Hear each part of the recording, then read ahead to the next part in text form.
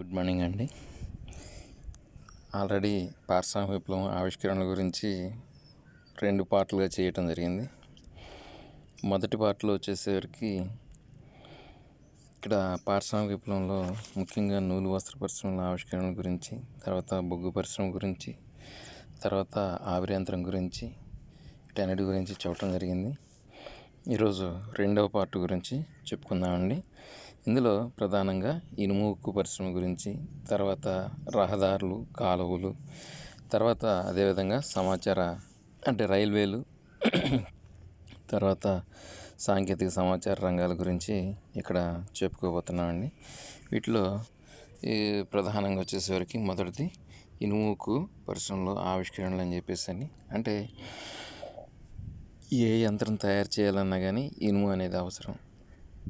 కొంచెం మన్ అంటే కొంచెం గట్టితనం అనేది ఎక్కువగా ఉండాలంటే ఉక్కు అనేది అవసరం. ఇనుము నుంచి తర్వాత కాలంలో ఉక్కుని తయారు చేయటం అనేది కూడా జరిగింది. అయితే ఇక్కడ మనం ప్రాచీన కాలం నుంచి కూడా ఇనుము అనేది వాడుతున్నారు. మరి పారిశ్రామిక విప్లవంలో అది ఎటువంటి మార్పులకు గురి అయింది అని చెప్పేసి ఇక్కడ మనం చూడవచ్చు అంటే ప్రాచీన కాలంలో మనం కత్తులు కానీ తర్వాత ఇవన్నీ పోసి ఇనుమును కరిగించి ఇవన్నీ కూడా చేయటం ప్రాచీన కాలం నుంచి ఉంది. అందులో భాగంగా ఇక్కడ రోమన్ సామ్రాజ్యంలో డే బుక్ అని చెప్పేసి దాని నుంచి మనం చూసినట్లయితే ఇక్కడ ఇనుముని వినియోగించి ఇక్కడ పెద్ద పెద్ద గొలుసులు తర్వాత కవచాలు ఇటువంటి అన్ని ఫిరంగులు ఇవన్నీ తయారు చేశారని చెప్పేసి అని మనం చిన్న ఉదాహరణ కూడా ఇచ్చుకోవటం జరిగిందని ఇందులో. ఓకేనా? నెక్స్ట్ వచ్చేసరికి ఈ ఆధునిక కాలంలో ఈ ఇనుము ఏ విధంగా ఉపయోగించారు అని చెప్పేసి అంటే మొదట రాజుల కాలంలో వచ్చేసరికి వాళ్ళకి కావాల్సినటువంటి యుద్ధ సామాగ్రికి ఉపయోగిస్తే ఇక్కడ సామాన్యుడికి అవసరమైనటువంటి ఇళ్ళు తర్వాత అదేవిధంగా ఈ రోడ్లు తర్వాత వంతెనలు ఇలాగ రకరకాల వాటిలో కూడా ఇనుమును వినియోగించడం వలన ఇనుము యొక్క వాడకం అనేది ఎక్కువైంది. సో ఇనుము వాడకం ఎక్కువైంది కాబట్టి దీని అవసరం అనేది ప్రజలు అంటే ప్రజలకి అవసరమైనటువంటి వస్తువుగా తయారైంది. సో దీన్ని ఉత్పత్తి అనేది పెంచాల్సిన అవసరం వచ్చింది. మరి ఇనుమును కరిగించడం అనేది చాలా కష్టమైనటువంటి విధానం. అందుకు ఇంతకుముందు రోజుల్లో కర్ర బొగ్గుని ఉపయోగించేవాళ్ళు. అయితే ఇంతకుముందు ఆల్రెడీ మీకు చెప్పినాను. బొగ్గు పరిశ్రమ గురించి చెప్పేటప్పుడు చెప్పున్నాను కర్ర బొగ్గు స్థానంలో నేల బొగ్గును ఉపయోగించారు. ఎందుకంటే ట్యూడర్ వంశీలు అడవులు నశించిపోతున్నాయని చెప్పి ప్రకృతి సమతుల్యం దెబ్బతింటుందని చెప్పేసి అనే ఉద్దేశంతో ఈ అడవులని సంబంధించినటువంటి కర్రతో ఈ ఇనుమును కరిగించడం అనేది వాళ్ళు నిషేధించడం జరిగింది. దానివలన నేల బొగ్గు అనేది కనుగొన్నారని చెప్పేసి అని. అయితే మొట్టమొదటిసారిగా ఈ నేల బొగ్గును ఉపయోగించి కర్రబొగ్గు స్థానంలో నేల బొగ్గును ఉపయోగించి ఇనుముని కరిగించడం అనేది ఇనుమును ఉత్పత్తి చేయటం అనేది హెన్రీ కార్డ్ అని చెప్పేసి ఆయన క్రీస్తకం పదిహేడు వందల ఎనభై నాలుగు సంవత్సరంలో మొ మొట్టమొదటిసారిగా దీన్ని ఉపయోగ అంటే తయారు చేయటం జరిగింది. దీన్ని పలకల రూపంలో పోతపోయటం అనేది కూడా దాని అవసరాల నిమిత్తం దాన్ని కట్ చేసుకుని మళ్ళీ తయారు చేసుకోవటం అనేది కూడా ప్రవేశపెట్టాడు ఆయన హెన్రీ కార్డ్ అని చెప్పేసి ఆయన క్రీస్తు శకం పదిహేడు వందల ఎనభై నాలుగు సంవత్సరంలో. ఓకేనా? నెక్స్ట్ వచ్చేసరికి అదేవిధంగా పద్దెనిమిది వందల ఇరవై ఎనిమిదో సంవత్సరంలో ఆ, నెలిసెన్ అనేటువంటి అతను ఇనుమును కరిగించడానికి నూతన కొలిమిని కనుగొనటం కూడా జరిగింది. తర్వాత దాన్ని అభివృద్ధిపరిచారు ఆ కొలిమిని. అది పదహారు వందల ఫారెన్ హీట్ వరకు కూడా దాన్ని అంటే తట్టుకోగలిగిన అంత వేడిని దానికి కలిగించినప్పుడు కూడా ఆ పాత్ర అనేది ఆ కొలిమి అనేది కరవ కరగకుండా ఉంటుందన్నమాట. తర్వాత దీనికి ఆవిరి యంత్రాన్ని పదిహేడు వందల తొంభై సంవత్సరంలోనే ఆవిరి యంత్రాన్ని ఉపయోగించి ఇనుమును కరిగించడానికి ప్రయత్నం అనేది మొదలుపెట్టడం కూడా జరిగింది. ఓకేనా? నెక్స్ట్ ఈ ఎప్పుడైతే రైల్వేలు ఎప్పుడైతే రైల్వే లైన్లు వచ్చాయి పద్దెనిమిది వందల ముప్పై తొమ్మిది నాటికి అంటే ఫస్ట్ మాంచెస్టర్ నుంచి లివర్పూల్ వరకు ట్రైన్ అనేది నడవటం జరిగింది. ఆ టైం అంతకు ముందు నుంచే బొగ్గుల నుంచి బొగ్గును బొగ్గుని తీసుకురావడం కోసం ఈ వీటిని ఉపయోగించడం అనేది శకటాలను ఉపయోగించడం అనేది జరిగింది. సో రైల్వేలు ఎప్పుడైతే తయారు చేయబడ్డాయో రైల్వేలు ఎప్పుడైతే అమల్లోకి వచ్చేసాయో దానివలన ఇనుము వాడకం అనేది ఎక్కువగా పెంచడం అనేది కూడా జరిగింది. అయితే నెక్స్ట్ హెన్రీ బెస్మెర్ అని చెప్పేసి ఆయన ఈ ఉక్కు ఉత్పత్తి పద్ధతిని ప్రవేశపెట్టాడు. సో అంటే గట్టిదనం కోసం ఉక్కును తయారు చేయటం ఈ దీన్ని బెస్మార్ పద్ధతి అని చెప్పేసి అని చరిత్రలో చెప్పుకోవటం జరిగింది. ఆల్రెడీ దీని గురించి పక్కన ఉన్నటువంటి స్లైడ్స్లో ఆ బెస్మార్ ఉపయోగించినటువంటి కొలుములు ఏ విధంగా ఉక్కుని ఉత్పత్తి చేసేటువంటి ఆ ఇమేజెస్ కూడా పెట్టడం అనేది జరిగింది. ఓకేనా? నెక్స్ట్ అదేవిధంగా ఈ ఉక్కును తయారీలో ప్రధాన సమస్య వచ్చేసరికి ఈ ఇనుము ఐరన్ ఊర్లు దాంట్లోనే ఏముంటుందంటే గంధకం మిక్స్ అయి ఉంటుంది. ఆ గంధకం ఎక్కువగా ఉంటే ఆ పెళుసుదనం అనేది వచ్చేస్తుంది. అంటే పెళుసుదనం అంటే ఊరకనే ఇరుగు ఇరిగిపోవటం అనేది జరుగుతుంది. అంటే ఇరిచేస్తే ఇరిగిపోయడం అంటే మనం మానవులు కాదండి ఏదైనా బరువు ఎక్కువగా దాని మీద ప్రెషర్ అనేది వచ్చినట్లయితే అది విరిగిపోవటానికి అనేది జరుగుతుంది. ఫర్ ఎగ్జాంపుల్ మన ట్రైన్స్ వెళ్ళేటప్పుడు అక్కడక్కడ రైలు పట్టాలు విరిగిపోవటం అనేది. అంటే దానికి సామర్థ్యానికి మించి అనేది ఉన్నప్పుడు అది ఇరిగిపోవటం అనేది సహజంగా జరుగుతుంది. ఇక్కడ అందులో భాగంగా గంధకాన్ని వేరు చేయటం అనేది ఫస్ట్ టైం వీళ్ళు చేశారు. ఎవరంటే సిడ్నీ గిల్క్రిస్ట్ తర్వాత పెర్సీ గిల్క్రిస్ట్ అనేటువంటి ఇద్దరు కూడా ఇనుము నుండి గంధకాన్ని విడదీయటం అనేది ప్రవేశపెట్టారు. ఆ పద్ధతిని ఆ గిల్క్రిస్ట్ పద్ధతిని ఈ బెస్మార్ పద్ధతి తర్వాత సిమెన్స్ మార్టిన్ అనేటువంటి రెండు రకాల ఉక్కు ఉత్పత్తి పద్ధతుల్లో ఈ గిల్క్రిస్ట్ విధానాలను ప్రవేశపెట్టడం అనేది కూడా జరిగిందండి. నెక్స్ట్ పద్దెనిమిది వందల డెబ్బై తొమ్మిది డెబ్బై ఎనిమిదవ సంవత్సరం నాటికి క్రీశకం విలియం సిమెన్స్ ఇనుమును కరిగించడానికి విద్యుత్ కొలిమిని రూపొందించడం కూడా జరిగింది. చూడండి. ఇక్కడ గంధకమును వేరు చేయాల్సినటువంటి సమస్య వచ్చింది. దాని గిల్క్రిస్ట్ అనేటువంటి brothers Percy Gilchrist Sydney Gilchrist లాంటి వాళ్ళు దీన్ని పరిష్కరించడం జరిగింది. స్వీడన్ ప్రాంతంలో భూ భూమిలో ఉండే లభించేటువంటి ఇనుము ఖనిజంలో స్వీడన్లో లభించేటువంటి ఇనుము ఖనిజంలో ఈ గంధకం శాతం అనేది తక్కువగా ఉంటుంది. ఓకేనా? ఇనుములో కూడా రకాలు ఉన్నాయండి నాలుగు రకాలు ఉన్నాయి సో ఇలాగా విలియం సిమెన్స్ అనే ఆయన విద్యుత్ కొలువుని కూడా ఉపయోగించడం పద్దెనిమిది వందల డెబ్బై ఎనిమిది సంవత్సరానికి కూడా చేయటం జరిగింది. టోటల్గా ఇనుము ఉక్కులో ఈ విధంగా మార్పులు అనేవి వచ్చేసి మార్పులు రావటం వలన అనేక రంగాలకి ఇనుముని ఉక్కుని ఉపయోగించుకోవటం అనేది కూడా జరిగింది. ఓకేనా? నెక్స్ట్ వచ్చేసరికి ఈ ఉక్కు తయారీలు మనం ఆల్రెడీ చెప్పుకున్నటువంటి విషయాలు ఇక్కడ ఉన్నాయి చూడండి. ఆల్రెడీ బెస్మా ఈ హెన్రీ బెస్మార్ గురించి ఆల్రెడీ ఇంతకుముందు చెప్పినవి ఉన్నాయి. గంధకం గురించి గంధకాన్ని విడదీయటం కోసం సిడ్నీ గిల్క్రిస్ట్ ప- పెర్సీ గిల్క్రిస్ట్ గురించి తర్వాత సిమెన్స్ అని చెప్పేసి అనేటువంటి తర్వాత ఈ విలియం సిమెన్స్ అని చెప్పేసి ఆయన విద్యుత్ కొలువుని ఉపయోగించాడని చెప్పేసి అని కూడా చెప్పాను ఇది పద్ధతి చూడండి. ఫస్ట్ బెస్మార్ పద్ధతి. చూడండి పైన ఒక స్లైడ్లో రెండు కొలువులు ఉన్నాయి. అక్కడి నుంచి ఎలాగ ఆ ఉత్పత్తి అయినటువంటి ఇనుముని కింద ఏ విధంగా మంట పెడుతున్నారు అనేది దాన్ని తీసిపోయి ఏ విధంగా పోత పోస్తున్నారు అని చెప్పేసి అనేటువంటి విషయం. తర్వాత పక్కన ఉన్నటువంటి రెండో స్లైడ్లో చూడండి. టాప్ ఓపెనింగ్ తర్వాత ఆ కుండ లాంటి భాగం వెస్సలంటే తర్వాత అదేవిధంగా రిఫ్యాక్టరీ తర్వాత ఇక్కడ ఎయిర్ ఏ విధంగా ఇది తర్వాత నెక్స్ట్ ఆధునిక కాలం ఉన్నటువంటి ఈ ఫోటో అనేది బెస్ట్ మార్క్ పద్ధతి గురించి ఇక్కడ చూసేస్తున్నాయి నెక్స్ట్ వచ్చేసరికి రహదారులు నిర్మాణం అండి. ఈ రహదారుల నిర్మాణంలో ప్రధానంగా వచ్చేసరికి ఈ ఇంగ్లాండ్ నందు మొదట రహదారులు అనేవి ప్రాధాన్యత అనేది పెద్దగా లేదు. ఎందుకంటే ఆల్రెడీ ఇంగ్లాండ్ అనేది ద్వీపం అండి. ద్వీపం కాబట్టి అక్కడ చుట్టూతో సముద్రం ఉంటుంది. నౌకాయానానికి ప్రాధాన్యత అనేది ఇవ్వటం అనేది కూడా జరిగింది. తర్వాత అదేవిధంగా ఇక్కడ రోడ్లకి అంత ప్రాధాన్యత లేదు. కాలువలు ఎక్కువ ఉన్నాయి. అంటే కాలువలు మీన్స్ నదులు అనేవి ఎక్కువగానే ఉన్నాయి. సో ఆ నదులను ఉపయోగించుకొని వీళ్ళు ఒక చోట నుంచి ఒకటికి ఒక చోటికి ఈ వస్తువులు కానీ తర్వాత అదేవిధంగా మనుషులను కానీ ప్రయాణింప చేయటం కానీ ఇవన్నీ కూడా నదులను ఉపయోగించుకోవటం అనేది జరిగింది. అయితే ఇంగ్లాండ్లో మొట్టమొదటిసారిగా క్రీస్తు శకం పదిహేడు వందల నలభై ఐదు సంవత్సరంలో సంబంధించినటువంటి జాక్ బైట్ విప్లవం అని చెప్పేసి అని. దీనివలన రోడ్ల యొక్క ప్రాధాన్యత అవసరాన్ని వీళ్ళు గుర్తించడం అనేది జరిగింది. మరి జాక్ బైట్ విప్లవం అంటే అసలు ఎక్కడ ఏంటి అని చెప్పేసి అని చూస్తే వీళ్ళు పదిహేడు వందల నలభై ఐదో సంవత్సరంలో ఇంగ్లాండ్ సైన్యం ఆస్ట్రియాతో ఆస్ట్రియా వారసత్వ యుద్ధంలో మునిగిపోయి ఉంది. అటువంటి సమయంలో ఇక్కడ ఈ క్యాథలిక్ మతానికి చెందినటువంటి వారసులు ఈ సింహాసనం మీద ఇంగ్లాండ్ సింహాసనం మీద కూర్చోబెట్టడానికి ఈ స్కాట్లాండ్ నుంచి కొంతమంది క్యాథలిక్ అనుచరుల అనుకూలు అందరూ కూడా ఈ ఇంగ్లాండ్ మీదకి దండెత్తి రావటం అనేది జరిగింది. సో అది అయితే ఆ దాడి విఫలం అయింది. ఆ సమయం నుంచి ఈ రోడ్లు అనే వాటిని నిర్మించాలని చెప్పేసి నా ఆలోచన ఇంగ్లాండ్ ప్రభుత్వానికి రావటం. ఎక్కువగా ఈ ఈ ప్రైవేట్ పరంగా అప్పచెప్పడం అనేది రహదారుల నిర్మాణానికి మొత్తం కూడా ప్రైవేట్ కంపెనీలకు అప్పగించడం కూడా జరిగింది. అయితే దీని రహదారుల యొక్క ప్రాధాన్యత ఆ ఎవరి సలహా మీదకి ఇంగ్లాండ్లో ఈ రోడ్లు అనేవి నిర్మించారంటే లూయి ఫే అని చెప్పేసి ఆయన ఆయన సలహా మేరకి ఆ ప్రైవేట్ కంపెనీలకు అప్పు చెప్పేసి రహదారులు నిర్మించడం అనేది జరిగింది. అందులో ప్రధానంగా ఇంగ్లాండ్లో నిర్మించిన కంపెనీలు ఆ రహదారుల గురించి ఇక్కడ ఇచ్చడం ఇవ్వడం జరిగింది.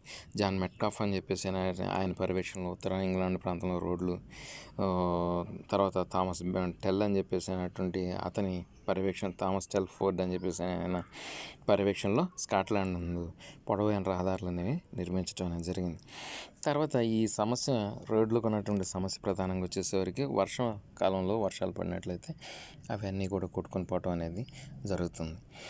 సో అందుకే ఇక్కడ ఆ సమస్యను నివారించడం కోసం క్రీశకం పద్దెనిమిది వందల పదకొండవ సంవత్సరంలో స్కాటిష్ ఇంజనీర్ అయినటువంటి అంటే స్కాట్లా స్కాటిష్ అంటే స్కాటిష్ స్కాట్లాండ్ స్కాట్లాండ్ స్కాటిష్ స్కాట్లాండ్కి చెందినటువంటి ఈ స్కాటిష్ ఇంజనీర్ అయినటువంటి జాన్ మెకడమ్ వచ్చేసేవరికి ఈ McAdam John McAdam అనే ఆయన కంకర్ని ఉపయోగించి మన కంకర రాళ్ళు ఉంటాయి కదా ఆ కంకర రాళ్ళను ఉపయోగించి బంకమట్టితో కలిపేసేసి రోడ్లు వేయటం అనేది ప్రారంభింపచేసాడు సో ఇవి వర్షాకాలంలో కూడా ఎటువంటి ఇబ్బంది లేకుండా ప్రయాణం చేయడానికి వీలు కల్పించింది. అందుకే దీన్ని మెకడం పద్ధతి అని చెప్పేసి అని మెక్కడం పద్ధతి అని చెప్పేసి అని అంటారండి. పక్క ఫోటోలో మనం చూడవచ్చు ఇలా ఆ రోజుల్లో మొట్టమొదట ఏ విధంగా కంకరని పరచడం జ- జరుగుతుంది దాని మీద ఈ బంకమట్టిని వేయటం తొక్కించటం వీటన్నిటిని కూడా చేయటం జరిగింది. ఓకేనా? తర్వాత కాలంలో బంకమట్టి స్థానంలో ఈరోజు తార్ రోడ్లు అనేవి తర్వాత సిమెంట్ రోడ్లు అనేవి కూడా మనం చూడ చూస్తున్నాము. ఓకేనా? నెక్స్ట్ కాలువలు ప్రధానంగా కాలువల నిర్మాణం.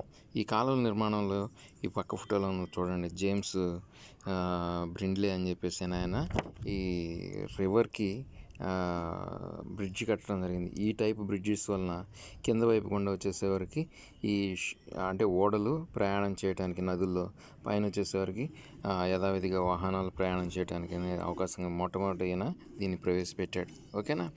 అయితే ఇక్కడ పారిశ్రామిక విప్లవం వలన కాలువల నిర్మాణం అనేది పెరిగింది. ఎందుకంటే జల రవాణా అనేది చాలా చౌకైనటువంటిది. సో దానికోసం ఇల్లు కాలువలు నిర్మించడం అనేది జరిగింది. అందులో ఎగ్జాంపుల్స్ కూడా ఇవ్వటం జరిగిందండి. ఇక్కడ చూడండి. ఐవు తర్వాత కాల్డర్ అనేటువంటి నదులను కలుపుతూ నిర్మించినటువంటి కాలువ మొట్టమొదటిది ఇంగ్లాండ్లో. ఇంగ్లాండ్లో మొట్టమొదటి కాలువ ఏంటంటే ఐవు మరియు కాల్డర్ అనేటువంటి నదులను కలిపేటటువంటి కాలువ. తర్వాత అదేవిధంగా క్రీస్ శకం పదిహేడు ఇరవై ఇరవై రెండు సంవత్సరంలో ఇక్కడ ఇరవై వేల తర్వాత మెర్సీ అనేటువంటి నదులను కూడా కలుపుతూ ఏర్పాటు చేయబడిన కాలువ. దీనివలన లివర్పూల్ మరియు మాంచెస్టర్ నగరాల మధ్య ఈ రవాణా అనేది సులభతరం కావటం కూడా జరిగింది. ఓకేనా? లివర్పూల్ అనేది ఊపుకి ప్రాధాన్యత ఉన్నటువంటిది. మాంచెస్టర్ బట్టలకి ప్రాధాన్యత ఉన్నటువంటిది. ఓకేనా? నెక్స్ట్ అదేవిధంగా క్రీస్తు శకం పదిహేడు యాభై తొమ్మిది అరవై ఒకటి మధ్య జేమ్స్ బ్రిస్లే బ్రిండ్లే వచ్చేసేవరకు నిర్మించినటువంటి కాలువ వలన ఈ జేమ్స్ బ్రిండ్లే నిర్మించినటువంటి కాలువ వలన నదిలో ఓడలు అనేవి ప్రయాణించడానికి వీలు కల్పించడం అనేది జరిగింది. ఆల్రెడీ మీకు చెప్పినాను. మాంచెస్టర్ నుంచి ఇది జూక్స్ అనేటువంటి ప్రాంతం వరకు కూడా ఈ కాలువ అనేది. అన్ని వేళల్లో అంటే అన్ని కాలాల్లో కూడా నీటి సరఫరా ఉండేటట్లు ఇంత తర్వాత ఏదైనా వరదలు వచ్చినా కానీ ఇబ్బంది కలగకుండా ఉండే విధంగా దీన్ని నిర్మించడం అనేది జరిగింది. ఓకేనా?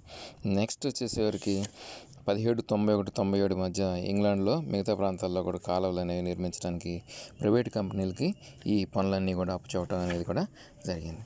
నెక్స్ట్ వచ్చేసరికి మనం ఇక్కడ చూడండి. ఆవిరి ఓడలు అని చెప్పేసి అని తర్వాత రైల్వేల నిర్మాణం అని చెప్పేసి అని మనం ఇక్కడ స్లైడ్స్ చూస్తున్నాం.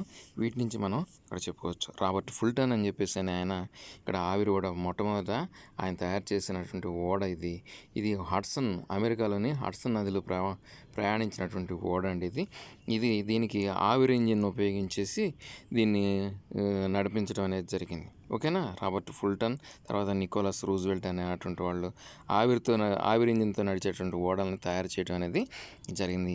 ఈ పద్దెనిమిది వందల ఏడో సంవత్సరంలో క్లేర్ మౌంటైన్ మౌంట్ అనేటువంటి ఆవిరి ఓడ ఈ దీని పేరు వచ్చేసరికి క్లేర్ మౌంట్ అనేటువంటి ఆవిరి ఓడ అండి ఇది.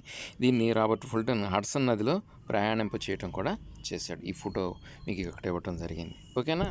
ఎక్కడంటే క్లియర్ మౌంట్ దీని పేరు వచ్చేసరికి క్లియర్ మౌంట్ అనేటువంటి పేరు పద్దెనిమిది వందల ఏడవ సంవత్సరంలోనే ఆవిరి యంత్రాన్ని ఉపయోగించి ఈ ఓడని హడ్సన్ నదిలో అమెరికాలోని హడ్సన్ నదిలో ప్రయాణింపు చేయడం కూడా జరిగింది. తర్వాత the Great Western the the Great Western అనేటువంటి నౌకని అట్లాంటిక్ మహాసముద్రం దాటడానికి పదిహేను రోజులు అనేది పట్టింది. అంటే ఎమ్ ఇది ఈ ఇంగ్లాండ్ నుంచి అమెరికాకి వెళ్ళటానికి పదిహేను రోజులు సమయం పట్టింది ఆ మొట్టమొదటిసారి ప్రయాణం చేసినటువంటి నౌక పేరు ఏంటంటే ది గ్రేట్ వెస్టర్న్ అని చెప్పేసి అని నెక్స్ట్ అదేవిధంగా ఇక్కడ వచ్చేసేవరకు మనం రైల్వేలు రహదారులు అనే వాటిని గురించి ఇక్కడ మనం చూద్దామండి.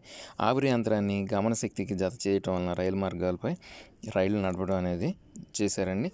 అందులో భాగంగా క్రీస్తు శకం పద్దెనిమిది వందల పదమూడు సంవత్సరంలో విలియం హ్యాడ్లీ అని చెప్పేసి ఆయన న్యూ కాస్టిల్ సమీపంలో ఆవిరితో నడిచేటువంటి గమనయంత్రాన్ని కనుగొనడం అనేది జరిగింది. పద్దెనిమిది వందల పదమూడో సంవత్సరం పైన చూసారండి ఫస్ట్ ఫోటో అది దానికి ఆవిరి యంత్రాన్ని బీచ్ పక్కన ఒక బొగ్గు చిన్న పెట్టిలాగా ఉంది. చిన్న రెండు రెండు గాన్లు ఉన్నాయి చూసారా? విలియం హెడ్లీ అని చెప్పేసి అని ఆయన విలియం హ్యాడ్లీ అని చెప్పేసి అని ఆయన కనుగొన్నాడండి. దాంతో బొగ్గు ఆ ఆ ప్రాంతంలో ఆ బొగ్గును సరఫరా చేయడానికి దీన్ని ఉపయోగించడం అనేది ప్రయ ప్రయత్నాలు అనేవి చేశారు. మూడు మైళ్ళు వేగంతో ఫస్ట్లో నడవటం కూడా జరిగింది. తర్వాత పద్దెనిమిది వందల పద్నాలుగు ఆ దాంట్లో లోపాలు ఉన్నాయి. ఆ లోపాలను సరిదిద్దుతూ పద్దెనిమిది వందల పద్నాలుగు సంవత్సరంలో జార్జ్ స్టిఫెన్సన్ అనే ఆయన రైలు ఇంజిన్ కనుగొనటం ఇది గంటకు మూడు మైళ్ళు వేగంతో ప్రయాణం చేయటం అనేది కూడా జరిగింది. బొగ్గన నుంచి బొగ్గును సరఫరా చేయడానికి కూడా జార్జ్ స్టిఫెన్సన్ కనుగొన్నటువంటి రైలు ఇంజిన్ అనేది ఉపయోగించడం కూడా జరిగింది. నెక్స్ట్ అదేవిధంగా కింద ఫోటోలో ఉంది చూడండి. ఇది ఫస్ట్ ఫస్ట్ ప్రయాణికుల యొక్క ట్రైన్ అండి ఇది. పద్దెనిమిది వందల ముప్పై సంవత్సరంలో లివర్పూల్ నుంచి మాంచెస్టర్ మధ్య మొదటి రైలు నడపడం అనేది కూడా జరిగింది. ఇది గంటకి ముప్పై మైళ్ళ వేగంతో ప్రయాణం చేయడం కూడా జరిగింది. తర్వాత రైల్వేల అభివృద్ధి వలన రసాయన శాస్త్రం లోహశాస్త్రం తర్వాత యంత్ర శాస్త్రం తర్వాత సాంకేతిక శాస్త్రం విద్యుత్ వంటి రంగాలు కూడా అభివృద్ధి చెందటం కూడా జరిగింది. ఓకేనండి? నెక్స్ట్ వచ్చేసరికి ఇక్కడ చూడండి. టెలిగ్రాఫ్ తర్వాత పక్కన టెలిఫోన్ తర్వాత నెక్స్ట్ వచ్చేసరికి థమాస్ ఆల్వాయిడ్స్ను బల్బు అనేదాన్ని కనుగొంటాం. ఇటువంటి వాటి గురించి పద్దెనిమిది వందల నలభై నాలుగో సంవత్సరంలో శామ్యుల్ మోర్స్ అని చెప్పేసి ఆయన టెలిగ్రాఫ్ని కనుగొనటం జరిగింది. మనకి టెలిఫోన్ అందుబాటులో లేనప్పుడు టెలిగ్రాఫ్ ఇంతకుముందు టెలి టెలిగ్రామ్ ఇవ్వటం అనేది జరుగుతుండేది. మనం గమనించినట్లయితే షార్ట్ ఇమీడియట్లీ అని చెప్పేసి అని ఎక్కడి నుంచి అయినా ఎవరైనా రావాల్సి ఉంటే వెంటనే ఈ టెలిగ్రాఫ్ ద్వారా సాంకేతాల ద్వారా పంపించడం వలన వాళ్ళు అక్కడ ఉన్నటువంటి ఆఫీస్లో ఉన్నటువంటి వాళ్ళు అక్కడ ఉన్నటువంటి వాళ్ళకి ఆ సమాచారం చేక చేరవేయటం అక్కడి నుంచి మనం వాళ్ళు రావటం అనేది జరిగేది. తర్వాత ఈ ఫోటోలో ఉన్నది అదేనండి. శామ్యుల్ మోర్ అని చెప్పేసి ఆయన కనుగొన్నటువంటి ఈ టెలిగ్రాఫ్ పద్దెనిమిది వందల నలభై నాలుగో సంవత్సరం క్రీస్తు తర్వాత అదేవిధంగా పద్దెనిమిది క్రీస్తు పద్దెనిమిది వందల డెబ్బై ఆరులో అలెగ్జాండర్ బెల్ అలెగ్జాండర్ బెల్ అని చెప్పేసి అని ఆయన టెలిఫోన్ కనుగొనడం జరిగింది. ఫస్ట్ స్లైడ్ పైన ఉన్నటువంటిది ఇది ఫస్ట్ కనుగొన్నటువంటి టెలిఫోన్ అండి. నెక్స్ట్ అదేవిధంగా పద్దెనిమిది వందల అరవై ఆరులో అమెరికా యూరప్ మధ్య అట్లాంటిక్ సముద్రం గుండా కేబుల్ వేయటం కూడా జరిగింది టెలిగ్రాఫ్. అంటే సముద్రం మధ్య యుఎస్ఏకి ఇంగ్లాండ్కి మధ్య ఈ సముద్రంలోంచి కేబుల్ వేయటం అనేది కూడా జరిగింది. ఓకేనా? నెక్స్ట్ అదేవిధంగా ఈ రోలండ్ హిల్ అని చెప్పేసి అనేటువంటి ఈ రోలండ్ హిల్ అని చెప్పేసి అనే వాళ్ళు పెన్నీ తపాలా పద్ధతి అంటే మన పోస్ట్ కార్డు పద్ధతిని ప్రవేశపెట్టాను. అంటే ఈరోజు పోస్టల్ సిస్టమ్ ఉంది కదండి అది మొట్టమొదటిసారిగా రోల్ అండ్ హిల్ అని చెప్పేసి అనేవాళ్ళు ప్రవేశపెట్టడం జరిగింది పద్దెనిమిది వందల ముప్పై ఐదో సంవత్సరంలో. తర్వాత అదేవిధంగా విద్యుత్ శక్తి. మనం ఈరోజు సహజంగా అన్నిటికీ విద్యుత్తునే ఉపయోగిస్తున్నాం. అసలు ఈ విద్యుత్ శక్తిని పద్దెనిమిది వందల డెబ్బై తొమ్మిది డెబ్బై నాటికి ఈ విద్యుత్ ఉత్పత్తి చేయడం అనేది ప్రారంభించడం జరిగింది.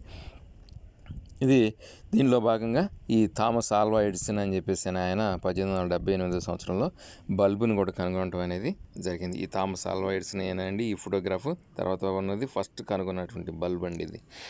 ఓకేనండి నెక్స్ట్ అదేవిధంగా ఇక్కడ మనిషి వస్తు ఉత్పత్తులు ఎదుర్కొన్నటువంటి సమస్యల వలన నూతన ఆవిష్కరణలు అనేవి జరిగాయని చెప్పేసి అని చెప్పవచ్చు అండి పారిశ్రామిక విప్లవం దీనివల్ల పారిశ్రామిక విప్లవం అనేది సంభవించిందని చెప్పేసి అని అయితే మొట్టమొదటి ఇంగ్లాండ్లో సంభవిస్తే తర్వాత పద్దెనిమిది వందల పదిహేను తర్వాత ఫ్రాన్స్ నందు అంటే నెపోలియన్ పతనాంతరం ఫ్రాన్స్ నందు పారిశ్రామిక విప్లవం అభివృద్ధి చెందింది. దాని నెక్స్ట్ అదేవిధంగా పద్దెనిమిది వందల డెబ్బై తర్వాత జర్మనీలో మిగతా దేశాల్లో కూడా ఈ పారిశ్రామిక విప్లవం అనేది వ్యాప్తి చెందడం అనేది కూడా పారిశ్రామిక విప్లవం వ్యాప్తి చెందడం కూడా జరిగింది.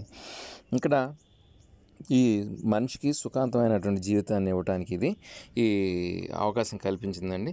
ఇక్కడ విద్యార్థులు కలిగే ప్రయోజనం ప్రధానంగా వచ్చేసరికి మానవుడు సుఖమైన జీవితం కోసం ప్రకృతిని తన మేధస్సును ఉపయోగించి తనకు అనుకూలమైన ఎలా మలుచుకున్నాడు అనేది మనం ఇక్కడ పారిశ్రామిక విప్లవంలో మనం తెలుసుకోవటం అనేది జరిగిందండి. ఓకే ధన్యవాదాలండి.